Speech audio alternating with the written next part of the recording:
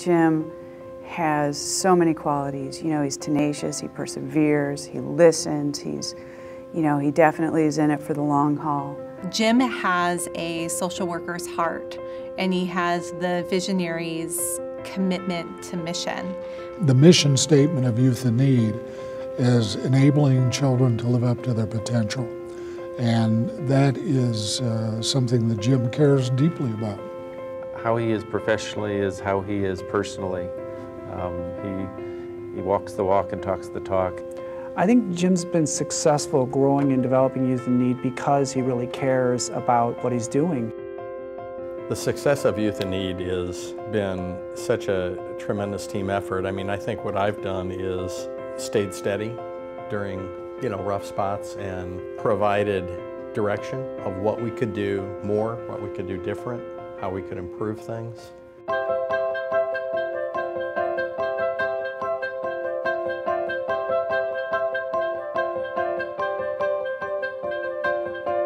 He listens and, and he really empowers others to, to make the right decision for, for youth in need. Just because you may have come to a decision doesn't mean that he's not still thinking about how can we improve this, what, is there a better way to implement it.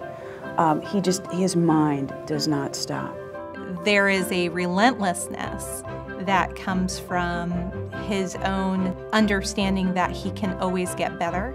You know, there's always a kind of a better way, you can get more people, do more good. I, I just don't think final product is in his vocabulary.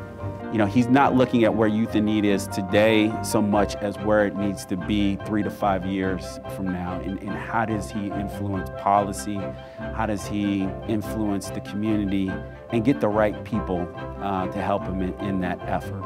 Jim is very good on praising the individuals that work for him and giving the praise truly to individuals who are doing the work.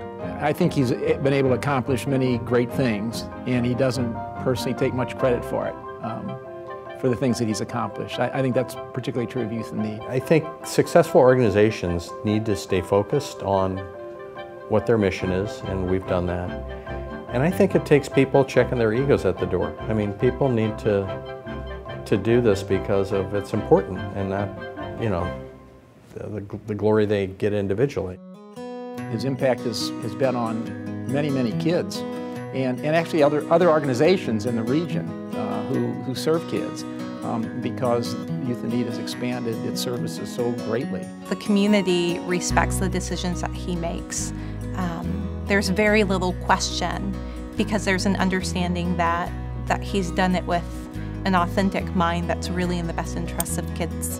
There, there were a number of times when we had to uh, take our case in front of the, the government leaders of our community, whether that was the county or the city. And um, at one point says, you know, I feel kind of like the social work mafia.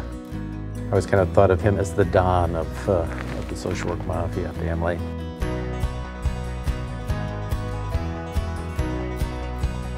I think his retirement holds probably a lot of work.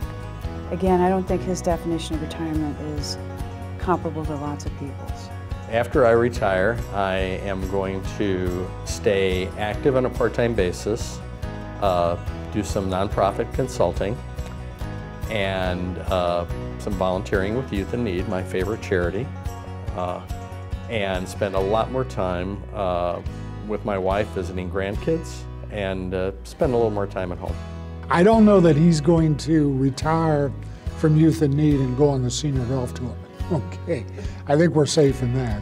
I, I did play golf with him uh, once, many, many years ago in the Youth in Need golf outing.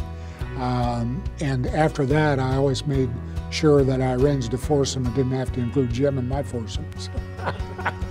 I really have been fortunate to have landed in this career because uh, I really don't question day to day if I'm making a difference. And, and quite honestly, it's the reason I want to continue doing some part-time work and in retirement is that I feel like I still can't contribute things. And I'll, well, I'll be doing some volunteer work with Youth in Need behind the scenes. But uh, it's been a tremendous privilege to, uh, to be in this role at Youth in Need for, for 24 years. Tremendous.